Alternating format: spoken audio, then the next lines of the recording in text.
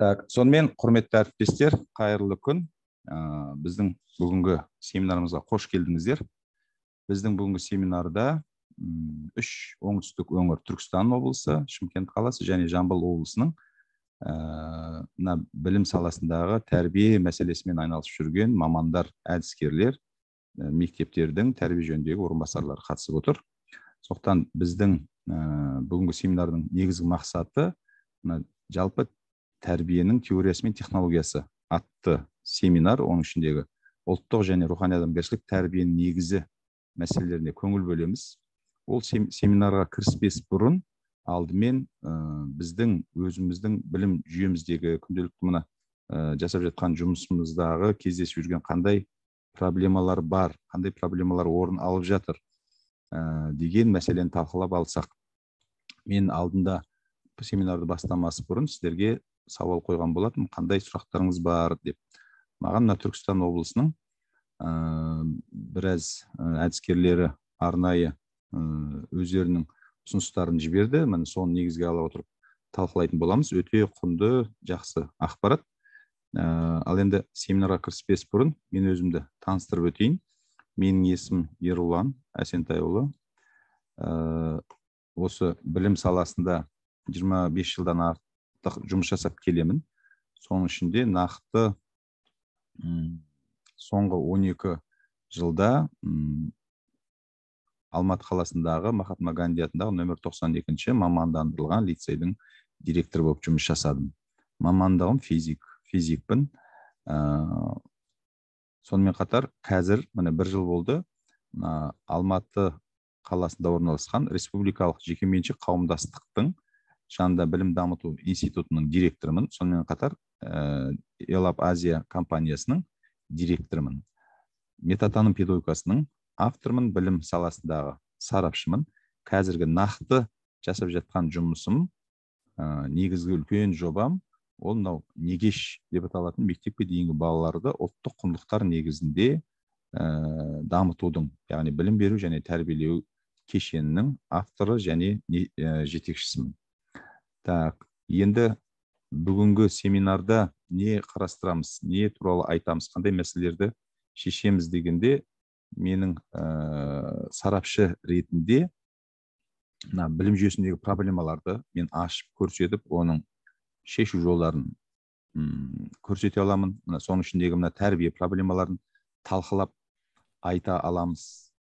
Ә, яғни тәрбие дегенде біз міндетті түрде рухани адамгершілік және ұлттық тәрбие мәселелерін қарастырамыз. Соның ішіндегі менің мына қызығушылықтарым бірі үлкен мынау рухани ілімдер жүйесі. Ол мына әл фарабидің парасатты адам ілімі қожа ахмет яссауидің хал хал ілімі сол сияқты мына біздің ата бабаларымыздан келе жатқан рухани ілімдер жүйесін ә, негізінде әңгіме өрбітетін боламыз. Сондықтан міне біріншіден үлкен рахмет айтқым келеді. Мынау түркістан облысы бәйдібек ауданында өткен мына тәрбие жөніне қатысты ә, бас қосудың жасөспірімдердің арасындағы келеңсіз оқиғалардың алдын алудың әдістемесі тақырыбында өткен әдістемелік ә, десанттың ұсыныстары. Міне осы ұсыныстарды ә, жалпы талқылауға ә, бергендіктен осы тура осыған тоқталып өтейік. Мен ойлаймын осы жердегі айтылған мәселе барлығымыздың да күнделікті өмірде орын алып отырған мәселелер. Міне сондықтан осы ұсынысты талқылап өтсек және де семинардың барысында міне осы сұрақтарға жауап беруге мен өз тарапымнан жолдарын көрсетуге міне тырысамын. Одан кейін сіздерден кері байланыс күтетін боламын. Сонымен міне өздеріңіз көріп отырсыздар. Бірінші ә, бес сауал қойған екен сол бес ұсыныс. Сол бес ұсыныстың біріншісі міне. Жасөспірімдердің мешіттерге бару және ораза ұстау жарапазан айтуға қатысты. Былайша айтқан кезде мына дін мен мүфтияттың арасында келісімшарт жасау яғни жас балалардың өткенде де көп әңгіме болды. Ораза кезінде оқушылардың мына ораза ұстау дұрыс па дұрыс емес па деген сияқты қажет па қажет емес па деген сияқты.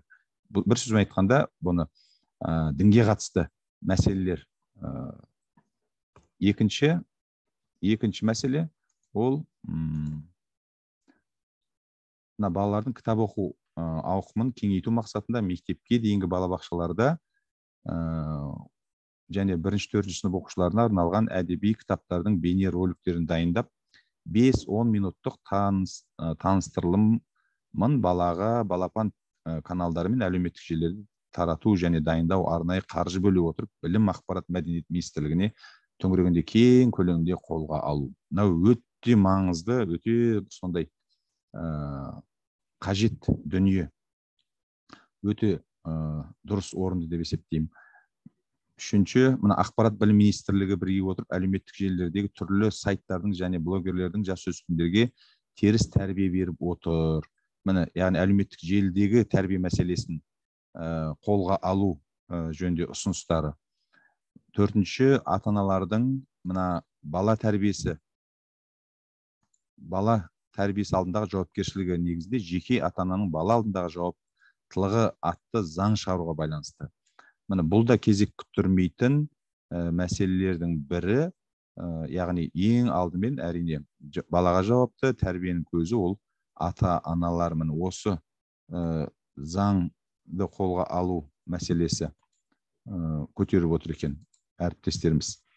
Так бесінші ұсыныс мынау жасөспірім жаса, ә, жасаған келеңсіз жағдайларды орын алуына байланысты мектептен тыс және мектепте де ә, тізімге алуды ұсыну мектепте орын алған келеңсіз жағдай бойынша ұстаздардың ә, ұстаздардан ал мектептен тыс орын алған келеңсіз жағдай бойынша ата аналардың жауапкершілік ұстаудың заңнамалық ережесін ә, қолға алу. Яғни бұл жерде ә, мұғалімдерді айналып келгенде барлық кінәратты мұғалімдерден іздемей мұғалімдердің мойнына ілмей олар да ата ана олардың да жеке өмірі бар деген сияқты осындай сауал көтерілген екен. Және де соңында мына айтып отырсыздар осы ұсыныстарды жалпы ұстаздардың қазақстан үкіметіне үндеу етіп көтеру және әлеуметтік желілерге шығуын қолға алу деген ұсыныс жасап отырған екенсіздер.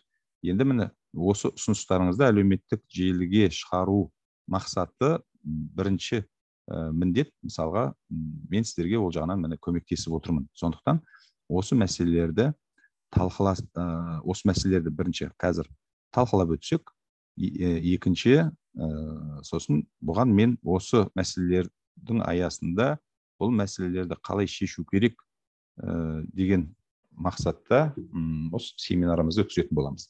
Сонымен ә, негізгі үлкен мәселелер көтеріліп отыр. Дұрыс өте орынды. Және де тағы да қалып қалған қандай мәселелер бар? Кім қандай тағы да сұрақтарды қосқан жөн деп санайсыздар? Бір бес минут. Егер де ұсыныс пікірлеріңіз болса айтсаңыздар. Құрметті әріптестер мен сіздерге мүмкіндік беріп отырмын. Осы айтылған мәселелерден бөлек біздің өмірімізде орын алып отырған тәрбиеге қатысты қандай ескерілмеген мәселелер бар? Бар ма айтам дегендер? Так.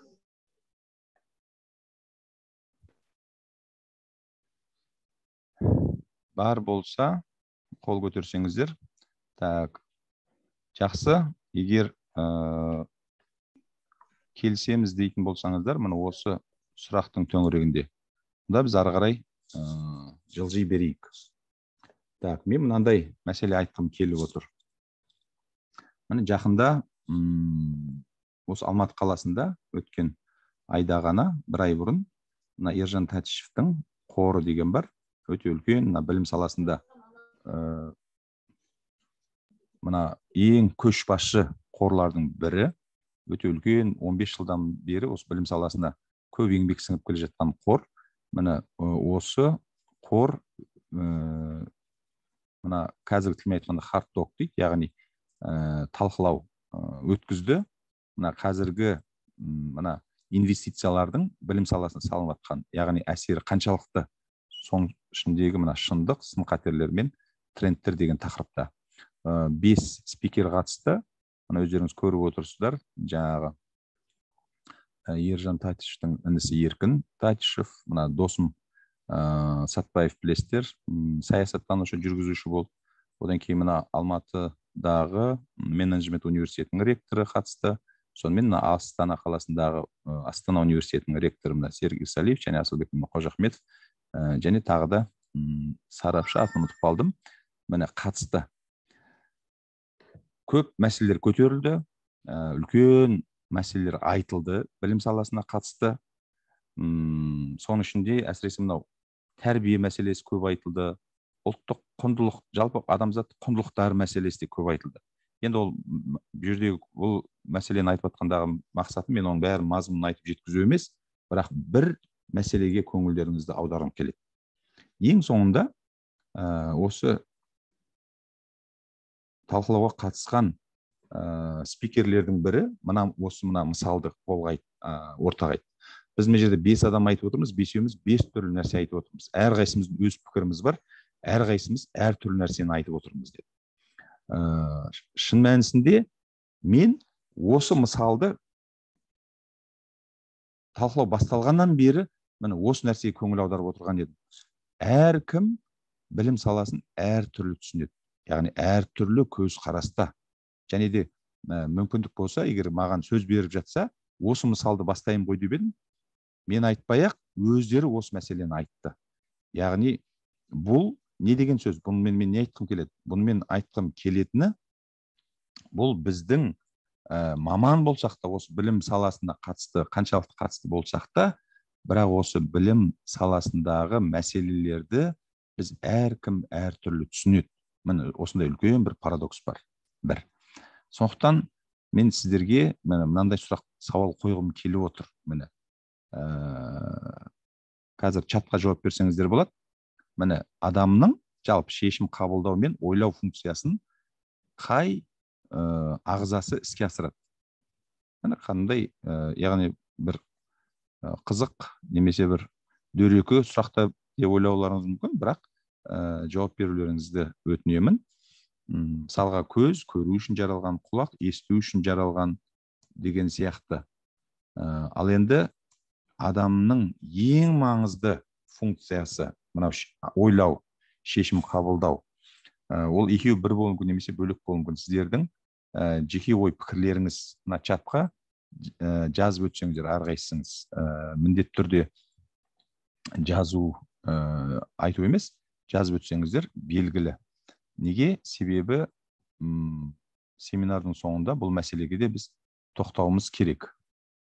Так ә, бір сауал түсіпті. Жалпы ата аналарға заң аясында тиісті шаралар қолданса себебі мұғалім білімді мектеп қабырғасында берсе қалған тәрбиені бала ата анасына алдын ә, алады. Әрі бала жасаған тәртіпсіздікке неге мектеп неге ұстаздар жауап беруі тиіс? Иә бұл өте үлкен орын алып отырған сұрақтардың бірі жаңа бұл да айтылды. Сонымен так мен чатта көріп отырмын. Так жүрек дейді ми дейді жүрек пен ми дейді ми мен жүрек дейді. Так тағы да жауап берсеңіздер. Жақсы жаза беріңіздер. Бірақ өтініш барлығыңыз өз жауаптарыңызды берсеңіздер. Мен ары қарай кете берейін. Яғни мен ә, былай деп айтар едім сіздерге. Яғни семинар жүргізуші ә, автор ретінде мынау неге жаңағы сарапшылар әрқайсысы әртүрлі айтып жатыр? Неге жалпы білім жүйесінде осындай түсініксіздік орын алып отыр? Неге біздің проблемаларымыз ә, оңай шешілудің орнына өткен сайын жағдай күрделен, күрделеніп ә, проблемамыз көбейген үстіне көбейіп жатыр. Міне сол проблемаларды яғни шешудің жолдары көп. Сол шешудің жолдарының ішіндегі мен ең дұрысы ең тиімдісі деп айтқым келетін мәселе бар. Мен былай деп айтар едім. Мысалы өздеріңіз елестетіңіздер. Жаңағы мысал егерде ә, біздің көзіміз соқыр болатын болса көзіміз көрмейтін болса қанша жарық жанып тұрса да біз іс әрекетіміз іс әрекетіміз өте бір сондай дөрекі себебі тек қана сипалап қана ә, сезіп міне солай ғана тіршілік жасаймыз. Міне біздің білім саласындағы қазір бір сөзбен айтқандағы сондай бір шарасыздығымыз міне көр соқырлығымыздың ә, негізгі мәселелерді көре алмай мына ә, соқыр адамның іс әрекетін жасап жатқан кейпіміз бар. Мен қарапайым сөзбен айтқанда бір солай деп ә, суреттер едім. Неге деген себеп ә, не себепті? Себебі біз негізгі мәселелерге көңіл аудармаймыз. Оның бірнеше себептері бар. Оған енді мейлінше мен жауап беруге тырысамын. Ә, және де себептерінің ішіндегі ең негізгісінің бірі ол біз осы білім саласының маманы болсақ та осы білім саласын біз дұрыс түбегейлі міне білмеуіміздің білмеуіміздің нәтижесінен ә, біздің проблемаларымыз көбейген үстіне көбейіп жатыр. Егер де деп айтайын егер де біз сол мәселелерді ә, түбегейлі түп тамырын негізгі себебін егер білетін болсақ ә, соған көңіл аударатын болсақ онда жаңағы ә, соқыр адам емес көзі ашық адам сияқты. Көзімізді ашсақ онда сипалап жаңа іздеп сұрап жатпай өз өзінен ақ белгілі өз өзінен қарапайым болатын мәселелер орын алар еді да біздің тек қана тәрбие мәселесінде ғана емес мына білім саласындағы көп мәселелер оңай шешілетін жолы табылар еді. Міне мен сөйтіп түсіндірер едім. Міне менің негізгі тұжырымым осы. Сондықтан ана жаңағы айтылған бес ұсыныс одан кейін де толып жатқан проблемаларды біз талдайтын болсақ біздің мына екі күндік емес бір он күн семинар талдасақ та біз оның шешіміне жете алмаймыз жете алмаймыз. Сондықтан да мен сіздерге мына екі күннің ішінде ә, негізгі мәселеге түп тамырына ә, былайша айтқанда мына соқыр адам сияқты емес көзі ашық адам сияқты мәселелерді көруге ә, үйренуге болатын жолын көрсеткім келеді. Соның сондай жол бар екенін айтқым келеді. Міне сол, сол үшін мен қазір сіздермен ә, соны сіздерге дәлелдегім келіп отыр. Ә, яғни міне білім жүйесі енді оны неден бастайық қарапайым. Мына білім жүйесіндегі проблема ол алдымен элементарно мынау педагогиканың проблемасы деп айтар едім. Неге? Себебі ә, біздің қазіргі білім беру жүйеміздегі ақсап тұрған ең үлкен мәселелердің бірі ол мына педагогика ғылымы. Яғни осы білім жүйесінің іргетасы негізі ұстыны болып саналатын ғылым ол педагогика болатын болса міне осы педагогиканың өзі ә, дұрыс өмір талабына сай болмағандықтан одан туындайтын бүкіл ә, әдістеме ә, әдістеме тағы да ары қарай технологиялар тағы да басқа лардың барлығы да міне осы, осыдан бас, басталады бастау алады. Міне мен солай деп айтар едім. Сондықтан осы мына педагогиканы қазір біраз ә, талдап көрейік. Мына жалпы ресми анықтамада педагогика дегеніміз не деген ол қандай ғылым дегенде міне мынандай анықтама береді. Яғни адамға білім беру мен тәрбиелеудің тәрбиелеудің жиналған әлеуметтік тәжірибені келесі ұрпаққа тиімді жеткізудің заңдылықтарын зерттейтін және қалыптастыратын ғылым деп береді. Бұл жерде мен қызылмен бөліп қойдым. Әри әдейі әлеуметтік тәжірибені ә, мен мына сөзді әлеуметтік тәжірибені ұлттық құндылықтармен деп алмастырар едім біріншіден. Екінші мәселе. Ә, педагогиканың мақсаты дегенде ә, сіздер тәрбие ә, жөніндегі орынбасарлар әдіскер болсаңыздар да сіздер пән мұғалімсіздер. Әрқайсыңыздың өздеріңіздің жеке жүргізетін пәндеріңіз бар. Сол пәндерді жүргізген кезде сабақ жүргізген кезде біз сабақ өткізген кезде айналысатын мәселе бар. Ол ең негізгісі мына сабақ жоспарын жасау. Сол сабақ жоспарын жасағанда ә, айқын көрінеді. Ол бұрыннан мына советтік дәуірден де міне қазір де ә, мақсаттар қоямыз. Ә, мына енді жаңартылған білім мазмұнына қатысты сәл өзгерістер болып жатыр. Бірақ негізгі педагогика ресми педагогикада мына үш мақсат қойылып тұр қойылады. Білім беру тәрбиелеу және дамыту дейді. Ә, енді осы мақсаттардың қаншалықты дұрыс және қаншалықты бұрыс екенін көз жеткізу үшін мен сіздерге мынандай сауал қойғым келіп отыр мынандай сұрақ тапсырма бергім келіп отыр.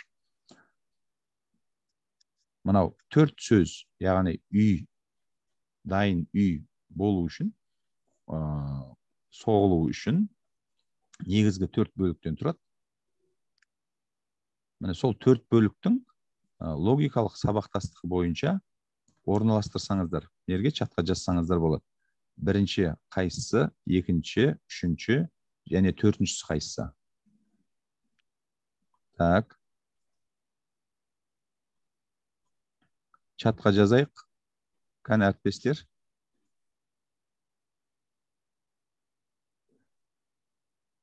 Сіз бізге тағы да бір сондай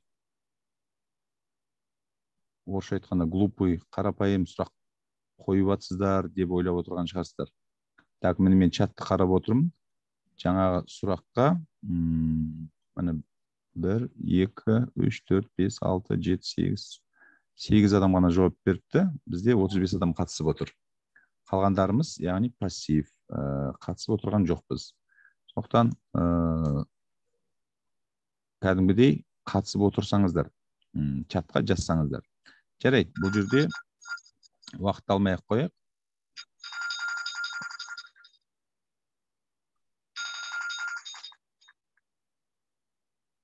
Так.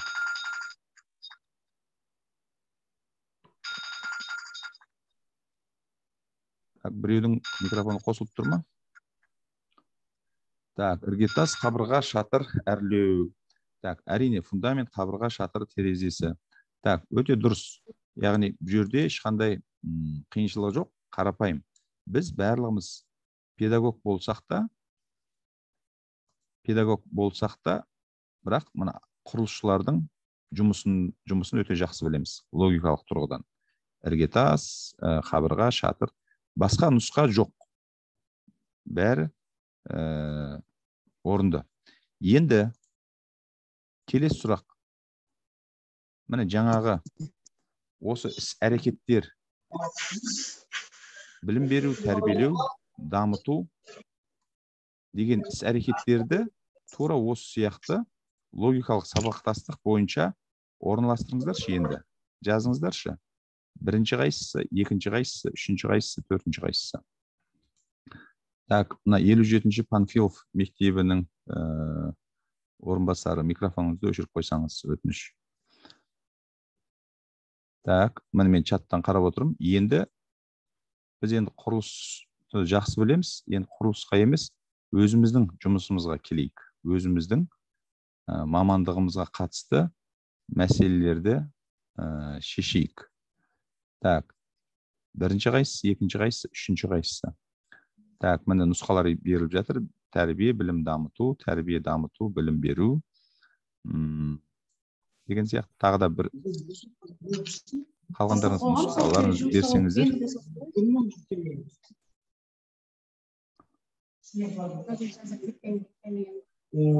так. Елу жетінші мектеп. елу жетінші мектеп. Жақсы рахмет. Так микрофондарыңызға мұқият болыңыздар. Сонымен міне рахмет жауап беріп жатырмын тәрбие дамыту білім беру тәрбие білім беру дамыту білім беру тәрбие. Тәрбие берілген білім адамзаттың қас жауын бәріміз білеміз тәрбие білім беру дамыту. Так енді қараңыздар. Міне қазірдің өзінде міне ә, мына жерде отыз бес адам қатысып отыр. Соның жеті сегізі жауап берді. Жауап беріп үлгерді. Міне мен қарап өттім.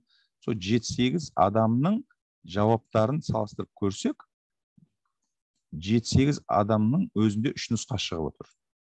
Үш нұсқа. Біреу бірінші тәрбие дейді біреу бірінші білім дейді біреу екінші білім дейді біреу екінші дамыту дейді одан кейін білім беру так. Яғни бұл не деген сөз? Бұдан ә, қандай қорытынды шығады? Бұдан қандай қорытынды шығады? Ә, айта алатын адам бар ма? бір екі тыңдарманға мен сөз кезегін берейін. Неліктен бізде құрылысшылар сияқты нақты ә, логикалық сабақтастық бір нұсқа емес бірнеше нұсқа шығып отыр. Қазірдің өзінде үш нұсқа шығып отыр. осыны негіздеп айтып беретін адам бар ма? Мүмкіндік берейін.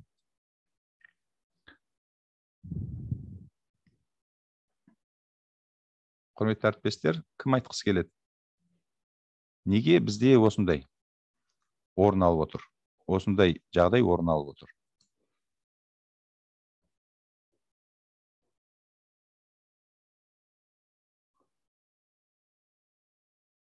Жақсы. Онда мен ары қарай жылжи берейін. Яғни мен осы жерден ақ бірден қорытынды шығарғым келіп отыр. Мен жаңа сіздерге айтқан мәселем міне осы жерден мына осы соның дәлелі. Неге? Себебі біз ә, білім саласында жоғары білім алып қанша жыл тәжірибелі жұмыс жасап жүрсек те біз өзіміздің мамандығымызды терең білмейміз. Міне теориясын білмейміз.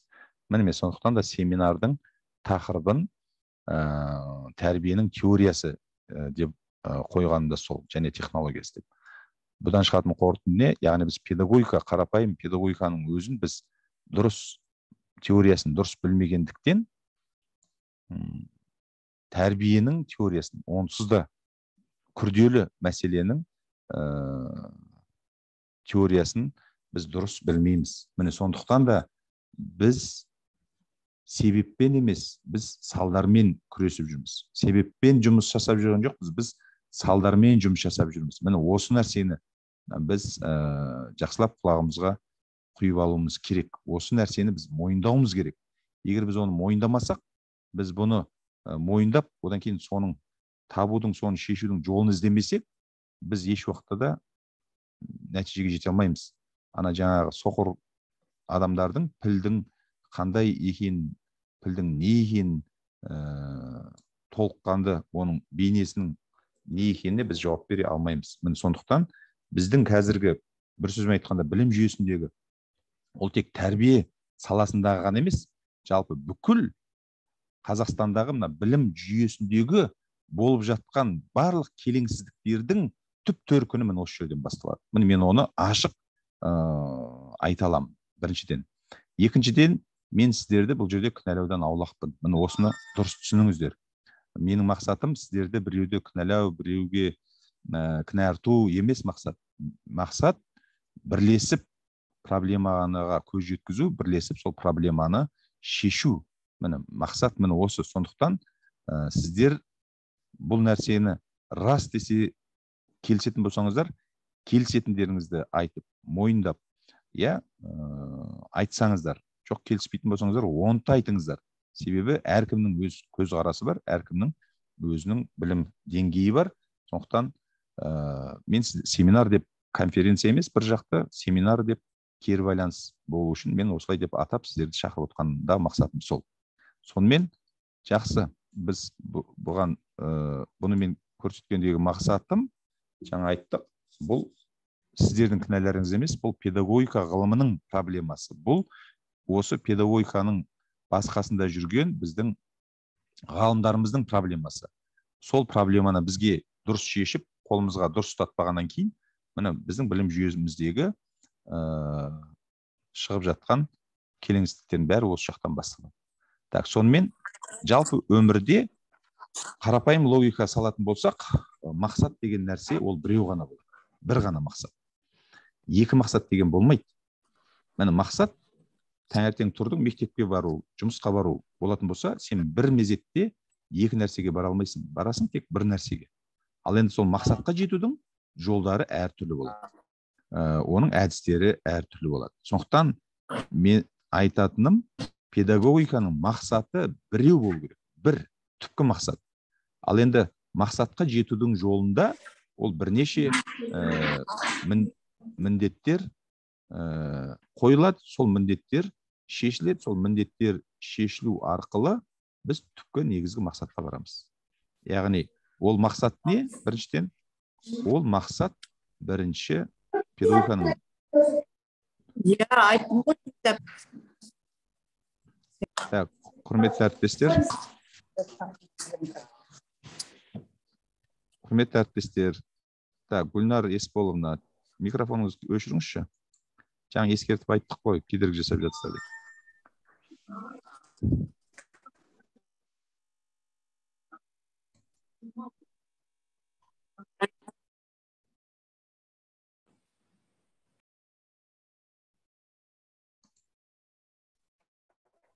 Так жақсы рахмет. Сонымен мақсат біреу болу керек. Ә, ол мақсат не деген кезде ол мақсат яғни ұлттық және мәдени құндылықтар негізінде дүниетаным қалыптастыру. Міне педагогиканың негізгі мақсаты яғни дүниетаным қалыптастыру. Соның ішіндегі міне дұрыс дүниетаным қалыптастыру м болу керек деп есептейміз. Ал енді өздеріңіз білесіздер әр адамның өз дүниетанымы бар. Көз өз жеке көзқарасы бар. Сол сияқты әрбір ұлттың өз дүниетанымы бар ә, жеке көзқарасы бар. Міне проблема мәселе қай жақтан туындайды. Міне осы ә, дүниетанымды қалай қалыптастырамыз? Ал енді білім беру тәрбиелеу жаңағы дамыту міне бұлардың барлығы да міне осы дүниетаным қалыптастыруға жетелейтін алып баратын міне педагогиканың ортадағы міндеттері. Ә, былайша айтқанда сол ә, негізгі мақсат емес осы мақсаттың ә, қалып баратын жолдар деп айтсақ болады міне солай деп түсіндірген дұрыс болатын шығар. Енді ә, тәрбие біздің сұрағымыз тәрбие болатын болғандықтан мына тәрбиеге келейік. Тәрбиеге қарай сәл жақындайық. Мына педагогикадағы тәрбиенің мәселесі ол ә, қалай шешіледі деген сұраққа қарай ә, жақындайық. Жалпы мына білім беру ол үдеріс білесіздер. Ал енді білім беру үдерісін басқарудың көрсеткіші ол ә, берілген білімнің сапасын өлшеу. Яғни нені біз өлшей алсақ ә, ол үдерісті біз басқара аламыз. Оны біз бағалай аламыз. Яғни бағалау деген сол өлшеу. Ә, біз білімді өлшейміз білеміз. Өлшеудің жолдары бар әдістері бар.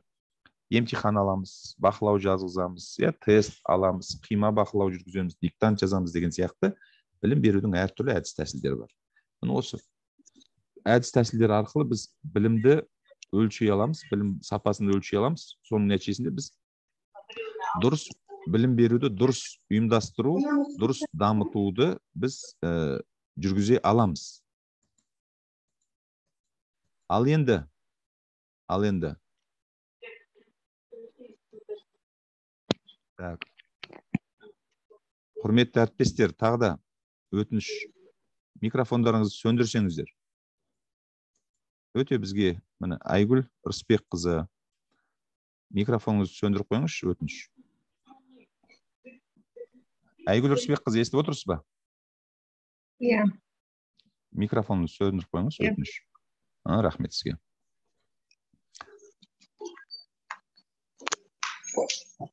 Әлі сөнбеді микрофоныңыз мхм так сонымен ә, білім беру үдерісін біз өлшей аламыз яғни өлшей аламыз деген сөз біз оны басқара аламыз яғни ә, корректировка жасай аламыз енді біздің мына сіздердің атқарып отқан жұмыстарыңыз тәрбие үдерісі тәрбие үдерісі ол да тәрбие беру тәрбие жұмысын ұйымдастыру ол да үдеріс енді жаңағы сияқты біз тәрбие беру жұмысын дұрыс ұйымдастыру үшін дұрыс жүргізу үшін дұрыс корректировка жасау үшін біз қалай өлшейміз тәрбиенің сапасын тәрбиелілікті осы туралы ойланып көрдіңіздер ма гүлнар есболаева өтініш микрофоныңызды сөндіріп қойыңызшы. Гүлнар есболаева.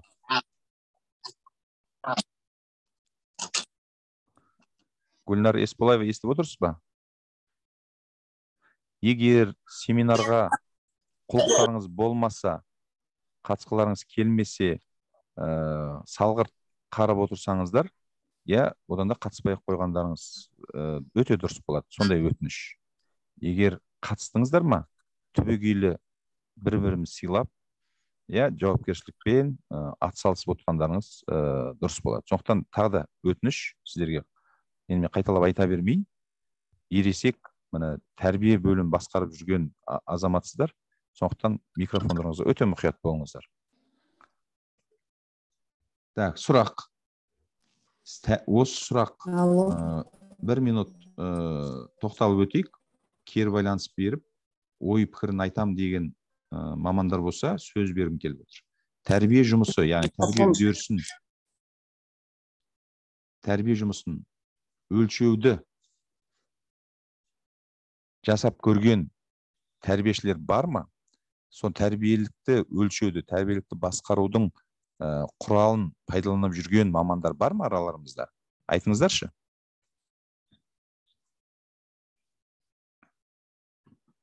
Сөз берейін. Мен ел іші өнер кеніші дейді.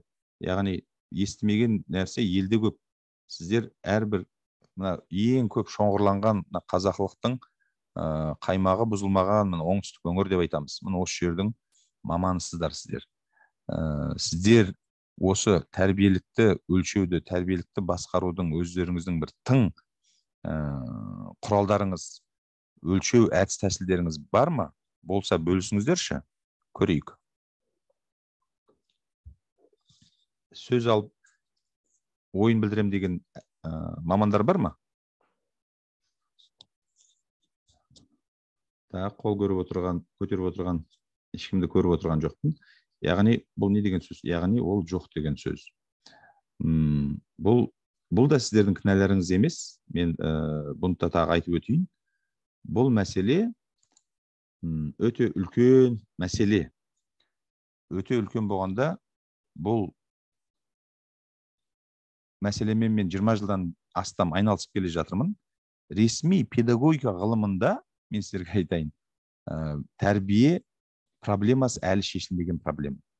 Ғалымдар бұл проблеманы әлі нақты шеше алған жоқ. Түсінесіздер ма? Міне осындай үлкен бұл ә, мәселе. Ал енді ғалымдардың шеше алмай жүргеніне жалпы мына қазіргі бізге ұсынылып отырған бізді оқытып отырған жоғары оқу орындарындағы мына педагогиканың бұл мәселені шеше алмағанына біз кінәлі емеспіз біріншіден. Ал енді сол ғалымдардың бар ал, бар нәрсені қолда бар нәрсені дұрыс пайдалана алмай отырғаны ә, бір сондай бір көңіл құлазытатын бір сондай аянышты деп айтсақ бола ма? бір сондай қиын мәселе деп айтсақ болады. Енді мен сіздерге алысқа бармай ақ бұл мәселелер біздің жалпы ұлттық дүниетанымда мына ұлттық құндылықтар мәселесінде бұл шешімін тапқан мәселе. Қолда бар алтынның қадірі жоқ сол қолдағы бар мақсат бар құралды біз дұрыс қолдана алмай отырғанымыз өте өкінішті. Міне мен соныған тоқталып өткім келіп отыр. Міне алысқа бармай ақ өзіміздің ардақты азаматымыз мағжан жұмабаевтың мына педагогика еңбегін білмеуіміз ә, мүмкін емес. Бәріміз білеміз. Бірақ өкінішке орай жоғарғы оқу орындарының білмеймін мен кездескен жоқпын бірде біреуінде бұны оқытып пайдалана алмайды бұны бір анау бір ә, ескірген бір әйтеуір сондай бір дүние бар деген мақсатпен ғана қолданылады ал шын мәнісінде міне кішкентай ғана қырық беттік осы кіп кішкентай кітаптың ішінде бұл мәселелердің барлығы ә, шешімін тапқан жолы көрсетілген. Бірақ тарихи жағдайға байланысты мағжан атамыздың мүмкіндігі өте аз шектеулі болып ол бар мүмкіндігін жеткізіп кете алмады. Бірақ осы өз ойын түбегейлі осында қырық беттік педагогикаға сыйдырып кетті. Міне соған қазір сіздердің назарларыңызды аударғым келіп отыр. Не дейді? Тәрбиеден мақсат адамды һәм сол адамның ұлттың иә аса асса барлық адамзат дүниесін бақытты қылу міне қараңыздаршы. Бірінші сөйлемнің өзінен ақ біздің ұлттық құндылықтың міне соның ішіндегі мына ұлттық дүниетанымның әлеуетінің қаншалықты біз екендігін. Тек қазақтың ғана емес бұл тәрбиенің бүкіл адамзатқа септігі пәрмені жететіні айтылып тұр. Ұлт мүшесі әрбір адам бақытты болса ұлт бақытты. Ал енді адамзат дүниесінің мүшесі әрбір ұлт бақытты болса адамзат дүниесі бақытты дейді. Қысқасын айтқанда тәрбиеден мақсұт адам деген атты құр жала қылып жатырмай шын мағынасында адам қылып шығару. Яғни міне тағы да қайталап айтқым келеді біздің ұлттық педагогиканың біздің ұлттық дүниетанымның әлеуеті ол тек біздің қазақтың ұлтына ғана емес бүкіл адамзаттың тәрбиелеуге пәрмен жететін сондай құдіретті құндылық деп айтсам болады. Енді тәрбие деген мәселеге жалпы сөздің не екенін біз талдап көрейік алдымен. Ең бірінші мына ә, ғылымда әдіс бар. Ә, түсінікті беру үшін жалпы сөздің мән мағынасын түсіну үшін оның этимологиясына көз жүгіртеді. Яғни этимологиясын қазады түп тамырын.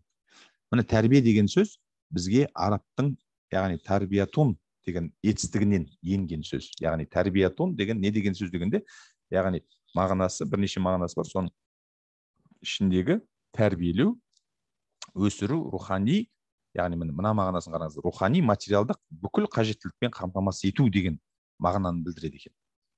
Ал енді орысша воспитать орысша айтқанда воспитать растить обеспечить всеми необходимыми духовно материальными нуждами.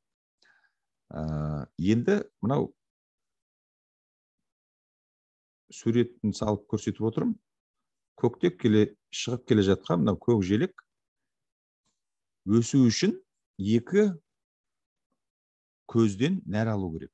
Біріншісі мынау қара топырақтан яғни жердің қуатын нәрін ылғал алады.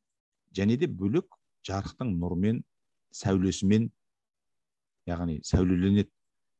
Оны біз фотосинтез деп атаймыз иә егер міне осы мына суы ә, нәрі топырақтың құнары қанша мықты болса да егер күннің сәулесі түспесе нұр түспесе ол ешқандай өсімдік көктеп өспейді өздеріңіз білесіздер. Сол сияқты күннің нұры қаншалықты жақсы түскенмен су болмаса тағы да өспейді. Яғни дұрыс өсу үшін міне жаңа өсіру үшін яғни екі қуаттың көзі ә, болу керек міндетті түрде. Міне осыған көңіл аударыңыздар. Ал енді тағы бір сөз ә, мынау енді. Орысша. Орысша тәрбиенің мағынасы воспитание иә? Егер орыс тілі мамандары болса білесіздер ә, тағы да этимологиясын қазатын болсақ вос питание питание яғни азық вос деген яғни ол жұрнақ ол қандай жұрнақ?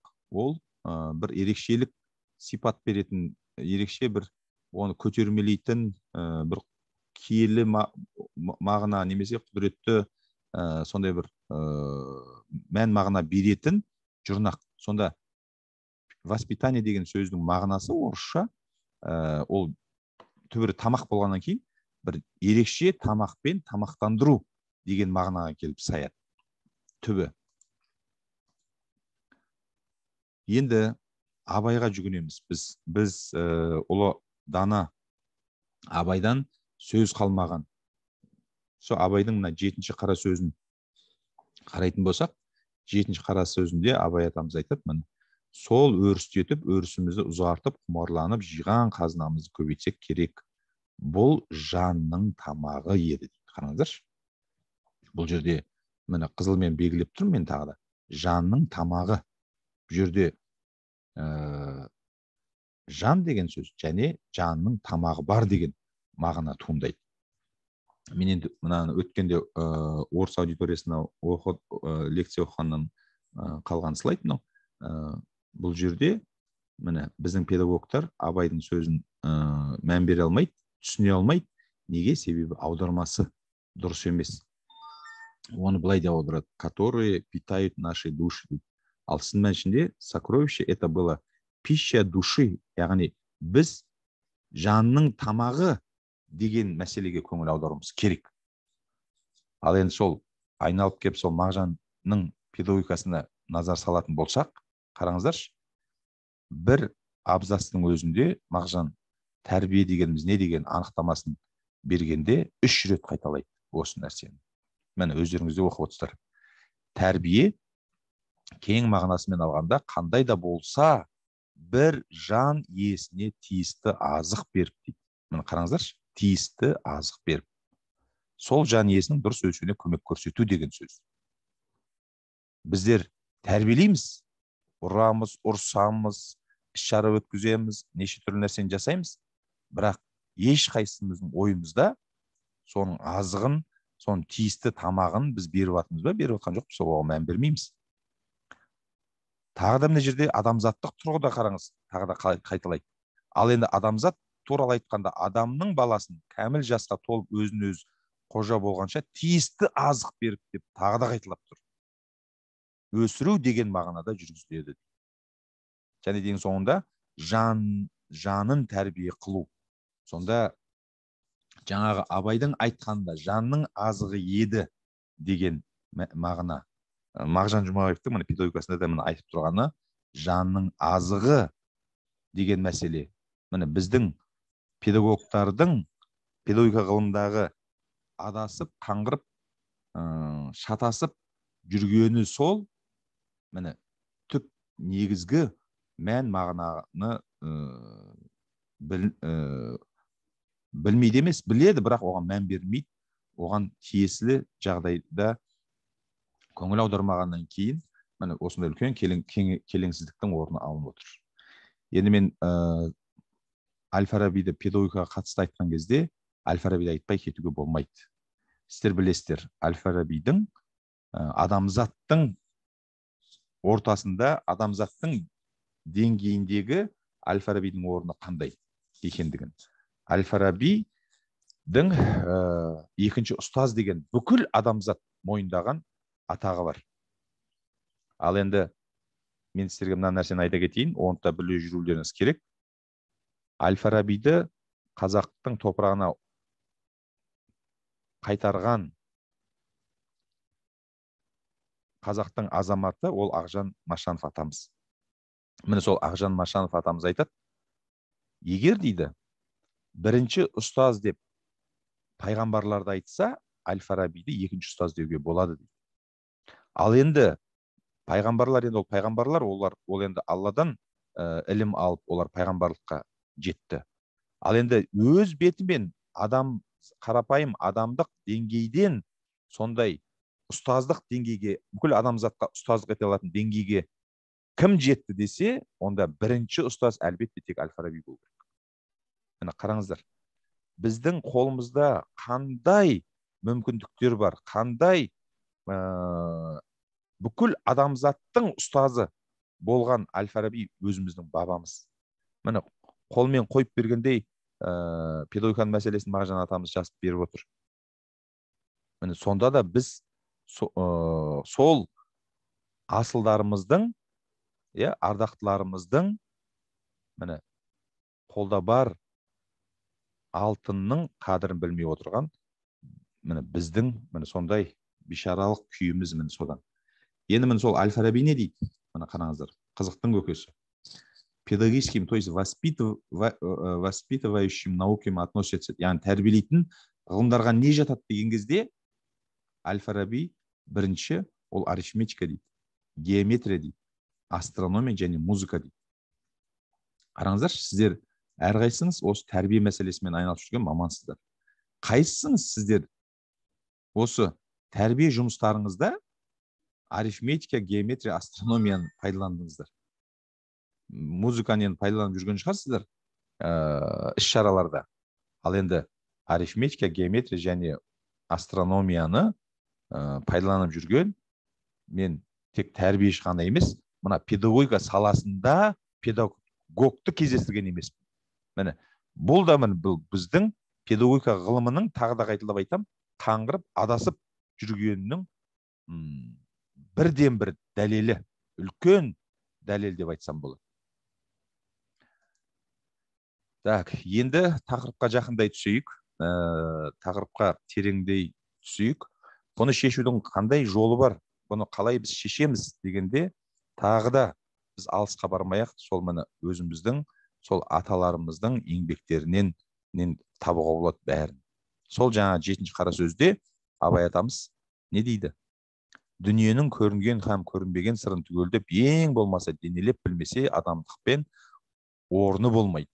Оны білмеген соң ол жан адам жаны болмай хайуан жаны болады міне біздің қазіргі қазақтың қоғамындағы адам емес міне хайуандық сипат алып міне сондай құбылыстардың орын алып отырғанына міне осы бірден бір дәлелі міне осы. Яғни абай айтып отырған көрінген һәм көрінбеген. Біз көзге көрінетін тек қана мына материалдық атеистік көзқарастағы педагогикамен ғылыммен мына сол құндылықтармен өмір сүріп жүрміз. Ал енді көзге көрінбейтін сыр нәрсені біз мән бермейміз. Оған көңіл аудармаймыз. Міне соның нәтижесінде міне біз қазір әлемдегі ең бай әлемдегі жан басына шаққан кезде байлық жағынан алған кезде әлемдегі ең бай жер шары бойынша біз тоғызыншы орын. Ал енді барлық байлықты қосқанда біз алтыншы орын. Ал енді адам саны көп емес аз ғана халық егер жан басына шығатын болсақ әлемде бізден асқан бай мемлекет жоқ жан басына шаққанда ойлаңыздар. Ал енді жағдайымыз біздің сондай неге бейшара неге біз сондай кедейдің кедейші бейшараның бейшара күйіне түсіп отырмыз? Өзімізге обал жоқ. Неге? Себебі сол хайуанның ә, күйін күйттеп жүрміз. Аба аталарымыз өрнек қылып салып кеткен салт дәстүр әдет ғұрып дүниетанымымыздан айырылып біз тек қана көзіміз тек көзге көрінетін дүниемен ғана шектеліп жүрміз.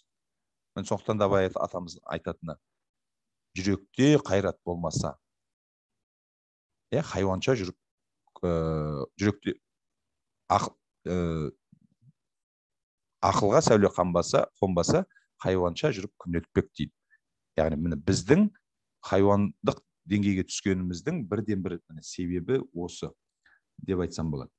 Енді мәселе көзге көрінетін мәселеде ешқандай мәселе жоқ. Бәріміз білеміз.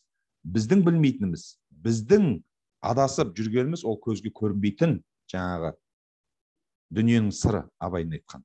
Оны бір сөзбен айтқан кезде біз оны руханият деп айтуға да болады. Ол не?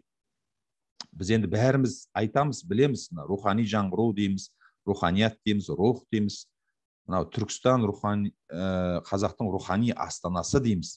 Айтқанда әдемі айтамыз. Бірақ мәселе сол.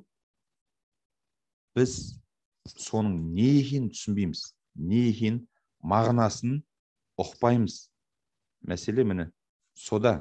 Сондықтан мен сіздердің назарларыңызға осы мәселе жөнінде қысқаша ә, айтып кеткім келіп отыр. Көзге көрінбейтін дүниенің сыры не деген сұрақ. Мен енді ә, оны жеті сатыға бөлдім жеті деңгейге. Ол не дегенде мына руханият деген мәселені түсінудің ә, танудың жеті сатысы деп. Бірінші қате түсінік. Яғни жаппай қазір қоғамда орын алып отырған қате түсінік. Жалпы адамгершілік тұрғыдан түсіну. Діни тұрғыдан түсіну. Ғылыми тұрғыдан түсіну қазақы дүниетаным тұрғысынан түсіну рухани таным және ізденіс тұрғысынан түсіну және рухани кемелдікке жеткен тұлға тұрғысынан түсіну деп мен жеті сатыға бөлдім. Енді қазір мына осы жеті сатыны талдап ә, саралап бергім келіп отыр. Ең бірінші жаңа айттым қоғамдағы жаппай орын алып отырған қате түсінік. Қазақ оны бір сөзбен жамандыққа жамандық жер адамның ісі дейді. Міне қазіргі адамдардың мына әлеуметтік желіде қарасаң бұқаралық ақпарат құралдары қарасаң тек қана жамандық тек қана негатив міне тек қана міне сондай бір келеңсіз жағдайлар. Яғни анау үйтіп кетіп мынау бүйтіп кетті ол өйткен екен бұндай болып жатыр мындай міне яғни жамандыққа жамандық жер адамның яғни адамның рухани деңгейі міне жер болған жағдай иә біздің қазір күнделікті орын алып отырған өзіміз көзімізбен көріп отырмыз. Яғни ол не деген сөз? Біз мына руханият дегенде біз ә, ал ең алдымен мына мешіттер мешіттегі құлшылық жасап жатқан ә, жаңағы мұсылмандар деп айтамыз міне соны елестетеміз.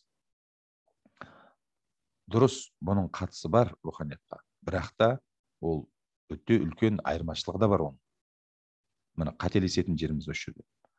Міне біз пәленбай миллиардтаған ақша бөліп қанша шетелдік мықты кітаптарды біз аударттық сөйтіп мақтанамыз кеудемізді керіп тұрып.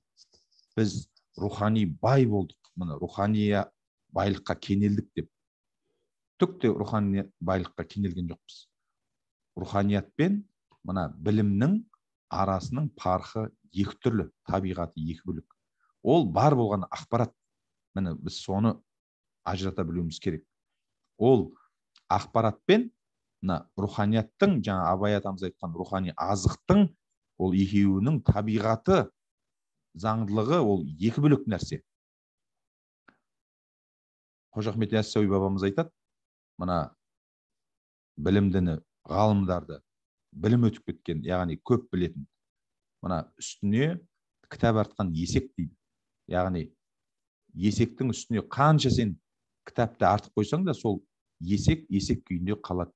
Міне адамның ішкі рухани тұрғыдан баға берсек егер мына білім деген мәселеге ә, солай деп бағалауға болады. Мынау біз рухани ә, азық алдық деп театрды айтамыз. Дұрыс театр мәдениеттің ошағы мәдениеттің орны. Руханиятқа қатысы бар. Бірақ та ол рухани азықты алмастыра алмайды. Мен мынандай мысал келтіремін. Енді бұл жерде көпшілігіңіз әйел адамдар негізі тамақты жасайтын сіздер. Егер мынандай күйді елестетіңіздер таңертең ерте жұмысқа шығып кетіп кешке жұмысқа бірақ келдіңіздер. Үйде тамақ істейтін адам болса өте жақсы тамақ істемесе өте қиын. Келу керек тамақ пісіру керек деген сияқты. Міне үйге кіріп келгенде кешке мына асханадан пісіп жатқан тамақтың иісі келсе мұрынға. Қандай керемет иә? қандай ә, бір сезімге енесің? міне қазір осы тамақты жесем мін бір тойсам қарнымның ашқаны қандай бассам деген бір сондай сезімге келесің міне театрға барған кезде міне сондай сезімге сезімде отырамыз. Яғни тамақтың біз өзін емес иісін ғана сеземіз. Міне соның өзінен біз тебіреніп әсерленіп көзімізге жас алып ой біз сондай бір рухани азық алдық дейміз. А шын мәнісінде сен барып тамақты алдыңа қойып қой сен тамағың аузыңа салып шайнап жұтқыншағыңнан жұтып өңешінен өтіп барып ана асқазаныңа тұрақтап ә, майынша сенің көңілің жайланбайды.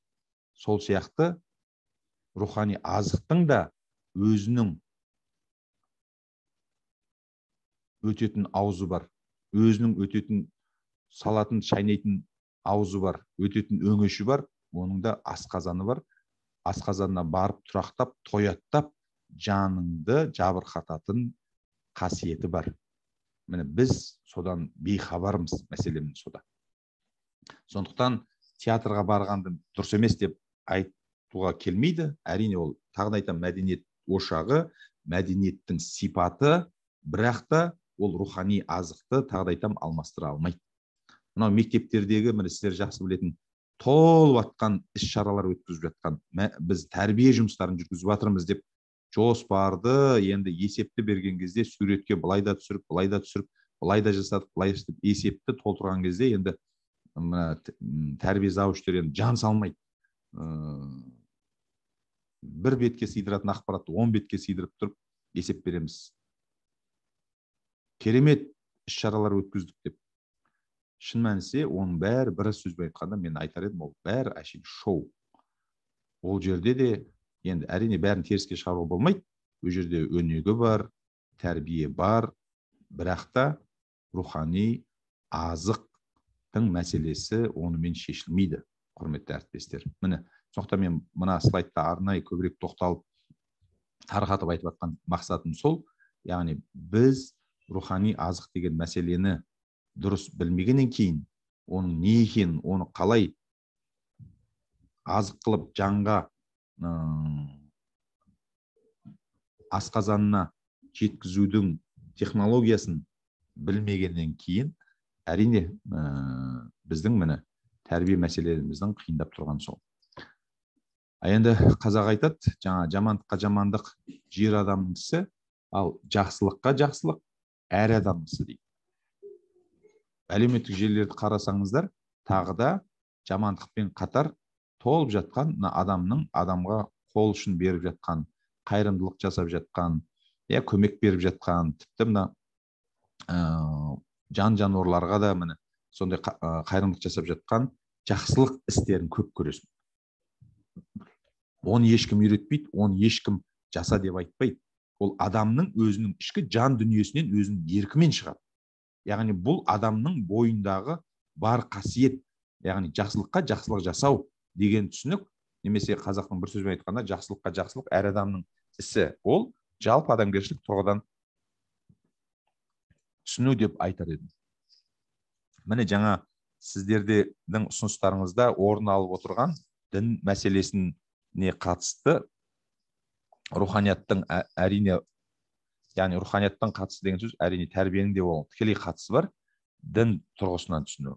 Міне оны да біз дұрыс түсіне бермейміз. Сондықтан мен осы нәрсеге көңілдеріңізді аудару керек міндетті түрде біз осыдан хабардар болуымыз керек деп айтар едім. Яғни дін тұрғысынан түсіну, түсіну дегенде ә, ол не? Оны қалай түсінуіміз керек? Мына шәкәрім атамыздың сөзі айтады.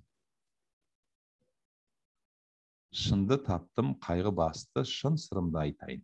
дін де пән де қатты адасты дау сабасты барқырап дейді. Яғни дін тазасын діннен ізде дін шатағын сынға сал. Анық ақыл өзіңізде айды ақылды мықтырақ дейді. Және де осы шәкәрім атамыздың сөзімен ары қарай жалғастырғым келеді. Мына дін деген не дегенде шәкәрімнен асып дінге анықтаманы анық берген мен адамды әлі кездестірген жоқпын. Сол шәкәрім атамыздың сөзімен айтатын болсақ не дейді? Ол кісі былай дейді. Әлемдегі діндердің бәрі нашар. Ешбірі түзу емес көңіл ашар. Өңкей алдау жалғанды дінім дейді. Тексерсең ойың түгіл жаның сасар. Әлемдегі діндердің түп мақсұты айнымай үш нәрседе құшақтасар. Ол құдай бар ұждан дұрыс қиямет шын ешбір діннің мақсаты жоқ бұдан асар дін адамды бір бауыр қылмақ еді қылмақ еді. Оны бұзып дұшпандық қару жасап сөйтіп бұзып бүлдіріп есіл дінді дін десе білімділер тұра қашады міне қазіргі біздің қоғамдағы дін десе білімділердің тұра қашқан сипаты міне әлі де сондай өте маңызды әлі сондай орын алып отырғанын біз өзіміз куәсі болып отырмыз. Яғни дін коммунизм кезінде дін әпиін деді иә. Дін біз зайырлы қоғамда өмір сүріп жатырмыз дейміз біз қазір. Яғни дін білім саласынан бөлек дейміз. Дұрыс заңнамалық жағынан алып келген кезде дін мәселесін мектепке тәрбиеге кіргізуге болмайды олар араластыруға болмайды. Ол әрбір адамның өзінің қабылдау қалау еркі. Бірақ та дінді тағы да терістеп тастауға да болмайды. Ол діннің ішіндегі дұрысын маңыздысын қажеттісін біз дұрыс пайдалана білуіміз керек. Бірақ сіздерге айтайын өкінішке орай өте өкінішке орай қазіргі біздің өмірдегі мынау көріп отырған дініміз таза дін емес шатақ міне осы өте үлкен қауіп бізге. Сондықтан біз зиялы көзі ашық оқыған адам ретінде біз соны ажырата білуіміз керек. Біз жаңа ана жерде айтып отырсыздар мүфтиятпен дін ана молдалармен келісу керек деген сияқты. Мен менің өз жеке ой пікірім. Олармен та, келісіп олармен келісім шарт жасау деген ол ә, одан уақыт көп жұмсап көп ә, ұтылып ұтыламыз деп ойлаймын. Біздің өзіміздің көзіміз ашық көкірегіміз ояу. Тәрбиенің мәселесін дінге қатысты мәселені молдалардан сіздер артық білулеріңіз керек. Яғни біз артық білуіміз керек. Керісінше қайтаға сол молдаларды біз үйрете алатын деңгей білуіміз керек. Ауылдағы қай молда? Кәдімгі жоғарғы оқу орнын бітіріпті. Қараңыздаршы. Мен қазір енді ана жұмыстан шығып қалып жаңағы ә, енді енді дінге араласып жүрген молдалар болмаса дипломы бар. Ал жалпы біздегі ауылдағы молдалардың көпшілігі ол сол бір жаназа шығаруға тағы құран оқуға біраз жаттап алған сүрелері болмаса шариғаттан хабары бар адам болмаса ал жалпы мына руханияттан жалпы мына білімнен ілімнен олардың ілім әлеуеті мына сіздерден мен артық деп айта алмаймын. Ал бізде міне сондай келеңсіз жағдай орын алып отыр. Сондықтан ол мәселені шешудің төте жолы дұрыс жолы мына осы жаңа абайдың атамыздың айтқан құдай көзге көрінбейтін ә, сыр дүниенің сыры деген мәселеге көңіл аударып өзіміздің ілімімізді арттыруымыз қажет. Міне сонда біз өзіміздің балаларымызға жаңағы мешітке барып жаңа құлшылық қылып жүрген тағы басқа ә, аузын бекітіп жүрген балаларға біз салихалы дұрыс ақыл кеңес бере аламыз сол кезде. Ол үшін біз тағы да айтамын өзіміз осы жағынан білімді болуымыз қажет. Тек молдаларға ғана бүйтіп алақан жайып ә, отыра беруге ол болмайды. Олардың өздерінің орындары бар олардың өздерінің қызметтері бар. Яғни ә, олар біздің ісімізге біз олардың ісіне араласпауымыз қажет деп ә, ойлаймын менің ойым. Так номері он төртінші мектеп. Сапарбаев мырза ә, микрофоныңызды өшірсеңіз.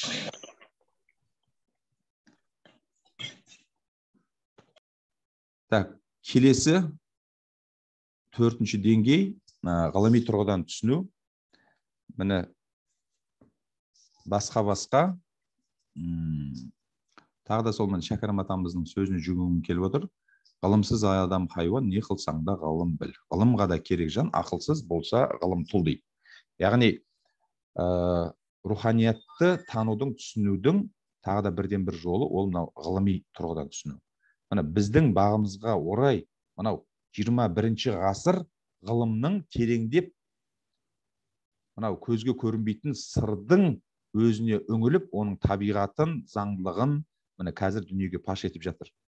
Яғни ә, қазір мына кванттық теория кванттық сана ұлы сана деген міне түсініктер ә, жаппай ә, насихатталып айтылып жатыр. Ғалымдардың өздері яғни мынау әлемнің материалистік ә, материалдық өзінен өзі жаралған нәрсе емес міндетті түрде себеппен жаралған оны басқарып отырған ұлы сананың бар екендігін яғни оның барлығы мына кванттық ә, физиканың заңдылықтарына ә, бағынатын яғни кванттық сананың барлығын қазір айтылып жатыр.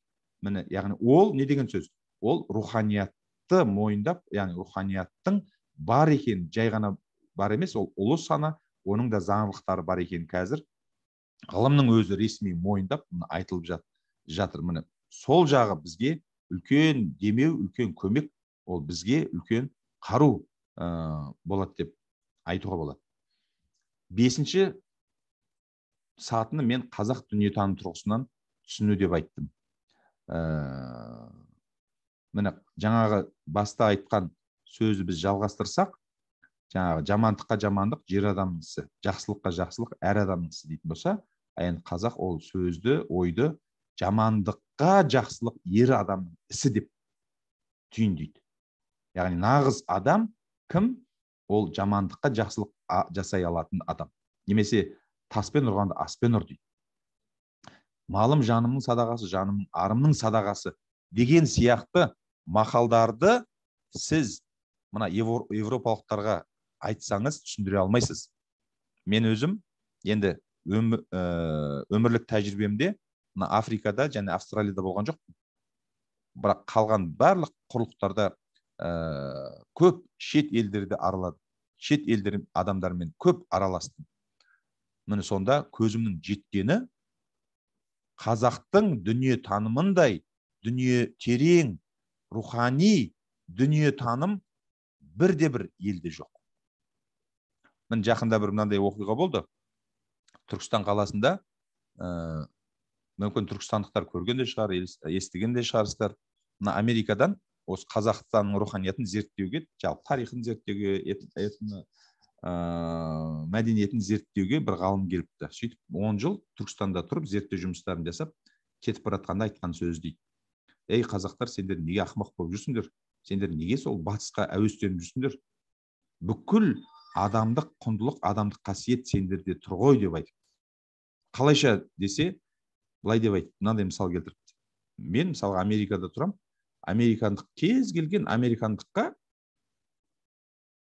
мың доллар берем қазір қолыңа. Мына көшеден басынан ана көшенің аяғына шейін тыр жалаңаш жүгіріп өтсең бір мың доллар берем десе ойланбай кез келген американдық тыр жалаңаш шешінеді да көшенің мына шетінен мына шетіне жүгіріп шыға келеді депті ал енді сендерге мың доллар берем емес он мың доллар берем.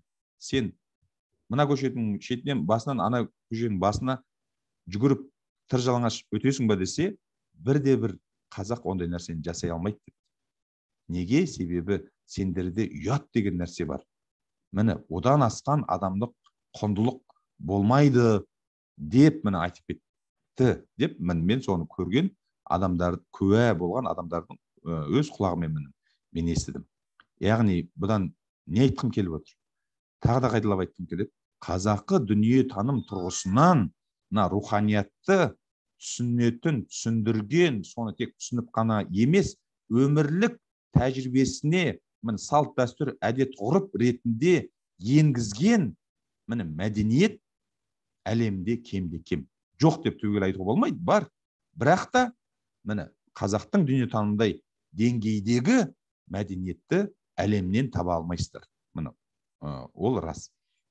Міне так енді уақытта жақындап қалыпты. Мен енді қазір бес минутта аяқтайын. Міне сонымен міне жаңағы соңғы үш деңгейді салыстырып қарайтын болсақ діни тұрғыдан ғылыми тұрғыдан және қазақы дүниетаным тұрғысынан үш тұрғыдан міндетті түрде қараған кезде ғана біз мына руханияттың не екенін дұрыс түсіне аламыз. Міне мына суреттегідей егер бір қырынан қарасаң міне басқаша екінші қырынан қарасаң екінші үшінші қыры тіптен басқа. А шын мәнісінде ол не екенін білу үшін міне осы үшеуінің біріккен яғни тұтасына тұтасымен бірігіп қана қараған кезде ғана біз руханияттың не екенін дұрыс түсіне аламыз. Ал басқадай жағдайда біз руханиятты дұрыс емес бір жақты сыңар жақ түсінеміз.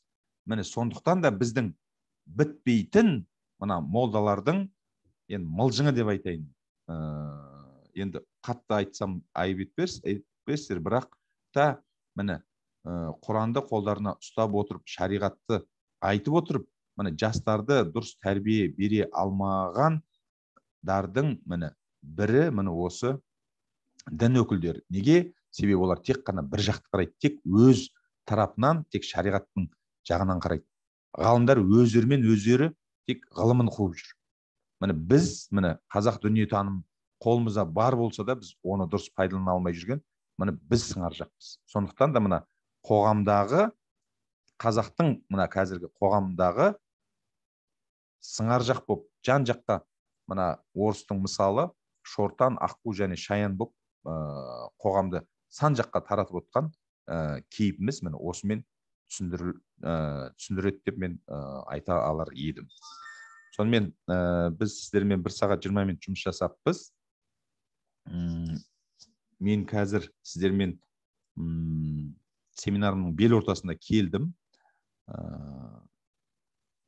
мұқият тыңдағандарыңызға мен алғысымды айтамын біріншіден. Екіншіден кері байланыс бір 10 минут кері байланысқа уақыт бөлгім келіп отыр.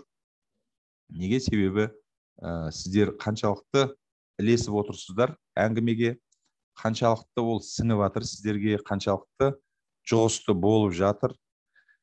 Қажет па қажет емес па деген сияқты. Мен тым артық кетіп жатқан жоқпын ба немесе ә, тағы да басқа ескертулеріңіз ұсыныс пікірлеріңіз болса мін, мен соны естігім тыңдағым келіп отыр сіздерден. Сондықтан сіздерден мен ә, кері байланыс күтемін. Көп емес үш өкіл. Түркістан облысынан бір адам шымкент қаласынан бір адам және жамбыл облысынан бір өкіл. Э, өз ой пікірлеріңізді айтсаңыздар сонымен ә, мен ақ ә, көп нәрсе белгілі болады ғой деп ойлаймын. Сонымен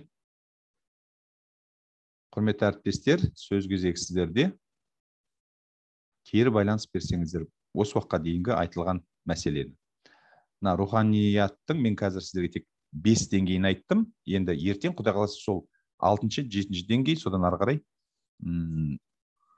шешудің қандай жолдары бар біз ұсынатын. Одан кейін жаңағы практикалық мектепте мына тәрбие үдерісінде не жасау керек қалай ұйымдастыру керек міне сол туралы ертең құдай қаласа айтатын боламын.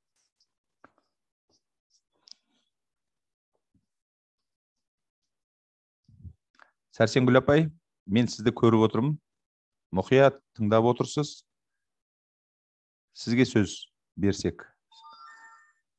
Жеті сайдан. Солай ма? Микрофоныңызды қоссаңыз естілмей жатыр дауысыңыз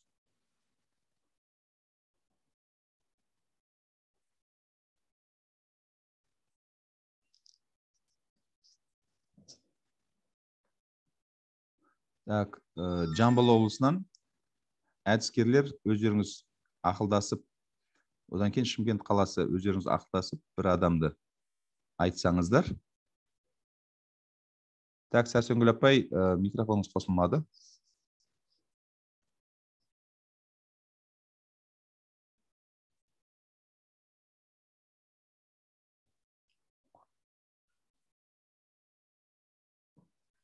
Так сәрсенгүл апай микрофон қосқанынша басқа өңірдің өкілдері кім ә, сөйлегісі келеді? Кім өз ойын білдіргісі келеді? Менің айтып жатқаным ә, құр бос қиял ма жоқ әлде қиын бір күрделі мәселе ма жоқ әлде түсінікті ма түсінікті болса қаншалықты түсінікті деген сияқты мәселені айтсаңыздар. А міне бәрекелді өшіріп қайтадан қосып қайтадан өшіріп қойдыңыз сәрсенгүл апай.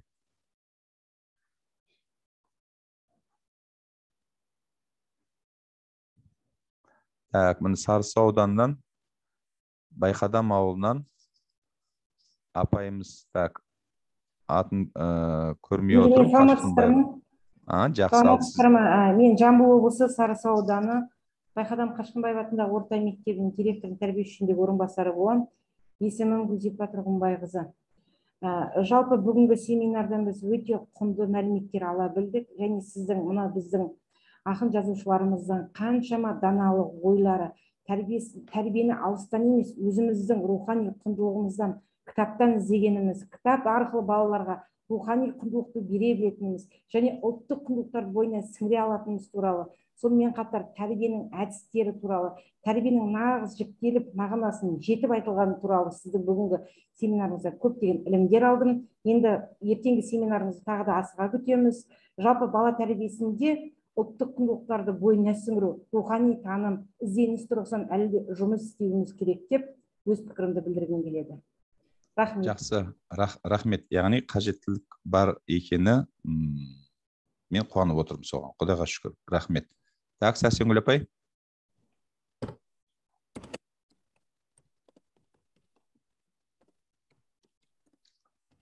так сәрсенгүл апай микрофон қосты бірақ қатып қалды. Так жамбыл облысынан өкіл айтты. Енді шымкент қаласы. Так шымкент қаласынан неден көріп отырмын нөмір он, он үшінші мектептің орынбасары отыр. Так енді қалғандары жазбапты. Так мына елуінші гимназия байтұрсынов атындағы. Тағы тағы бір екі өкіл кері байланыс берсеңіздер өз ой пікірлеріңізді айтсаңыздар. Сосын ә, ақыл кеңес айтсаңыздар вот мына нәрсеге көңіл аударуымыз керек мына нәрсе бізді мазалап жүр мына нәрсе қажет деген мәселені де айтсаңыздар.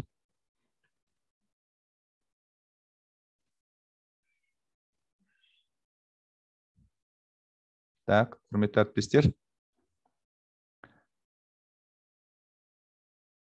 Мына сайрам ауданы 80 нөмір 81 бірінші ұлықбек атындағы жалпы білім беретін мектептің орынбасары. Менің жерлесім екенсіз. Мен сол сайрам ауданының тумасымын. Сол сізге сөз кезегін берсем. Так микрофон қоссаңыз.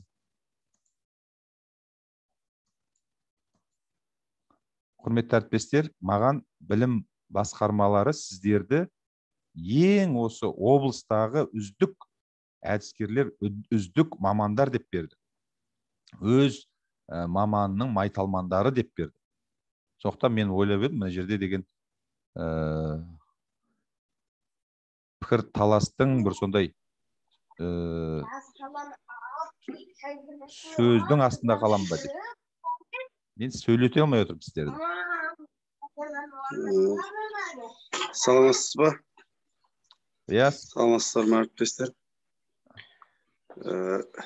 өте бүгінгі мынау зом арқылы өткізіліп жатқан бір жиналысымыз семинарымыз өте керемет өтіп жатыр өте маңызды мәселелер көріліп жатыр сізге үлкен рахмет айтамыз оның үшін осы мынау дін туралы айтылды ғой дін туралыға келетін болсақ бұл оқушыларымызда көбірек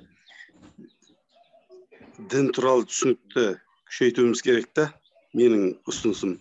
Өте дін туралы түсінікті күшейтуіміз керек. Сол кезде ғана бұл оқушылардың ә, басқа ағымдағы адамдар ә, жолдан ұрып кете алмайды.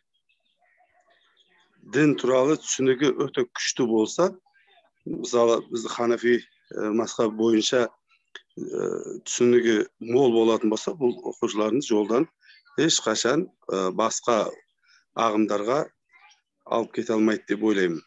Мен өзім түсінігім.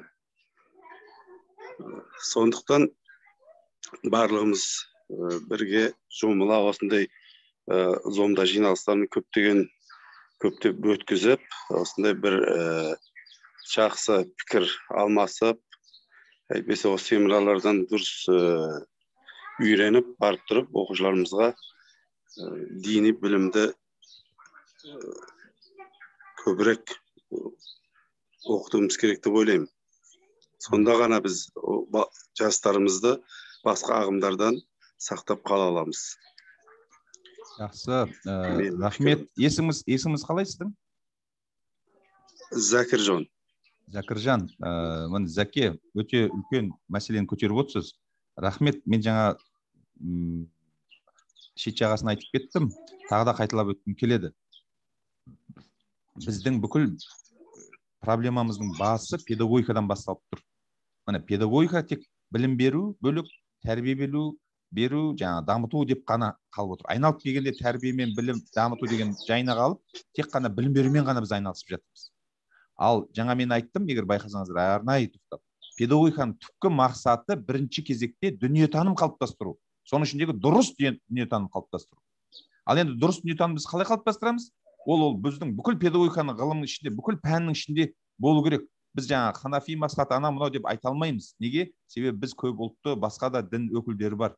Егер біз тек оны айтатын болсақ онда басқалардың құқығын бұзған болып есептелеміз.